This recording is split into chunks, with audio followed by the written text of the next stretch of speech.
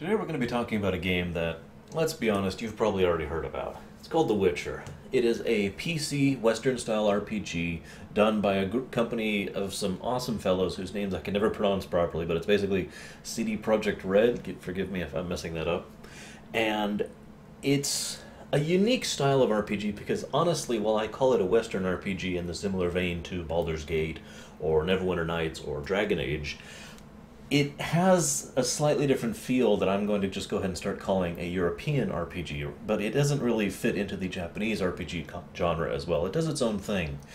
There's a great deal of focus on themes and philosophical and ideological discussions rather than a huge focus on characterization and whatnot, and it really likes to flesh out its setting as you're going through it. The gameplay itself is something that, honestly, if you've played most of the other type of games that I mentioned previously, you already have a good idea of what you're getting into.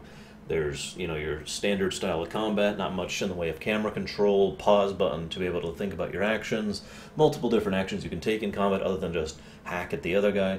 The one truly interesting feature about this that is unique from the other games that I've played on this list is a sort of a rhythm based, interactable, not quite quick time event, not quite action RPG thing, where if you use uh, input at certain proper moments, you will extend your combo and do better, stun lock the opponent, do more damage, that sort of thing.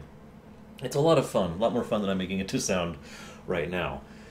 But again, honestly, there's not much else I can say about the gameplay in such a short video. If you want more thoughts on it, and indeed the story and the concepts and whatnot in general, please feel free to watch my lengthier and more in-depth rumination that I'll be putting out very shortly after this video. So why are you playing this game? Probably playing it for the story. Is the story worth it? One of the best compliments I can give this game is that even though I was doing the game for the show, you know, for these videos that you're watching right now, I still felt compelled and interested enough to actually keep playing it because I wanted to see what happened next. I wanted to see where things were going. I wanted to learn more about this world that all these events were taking place in. I wanted to learn more about what was going on with the, the nations in the distance and the politics and the, the cold dark that was coming from the north and all this other fun stuff. And well, I don't want to spoil too much, and I don't want to put any spoilers in general in this video.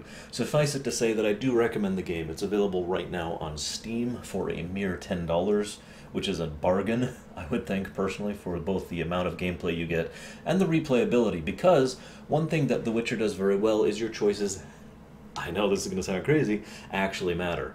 I know that's something that's touted a lot, but trust me when I say that some of your decisions that you make really do have a significant effect, effect on the story and the way things progress.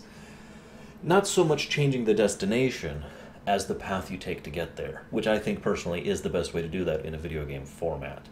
One of the other things, if I might digress for just a moment, that they did very well with this is they made it so that your choices don't always have an immediate impact. You don't always know exactly what's going to happen, so you can't just reload and say, well, I don't like that result. Instead, you will see the impact of your decisions further on down the line, which not only makes sense, but also prevents the possibility of you just saying, going through and reloading and reloading until you get the outcome you really want. Whether that's a net positive or net negative is probably going to depend on your opinion, but I like it personally.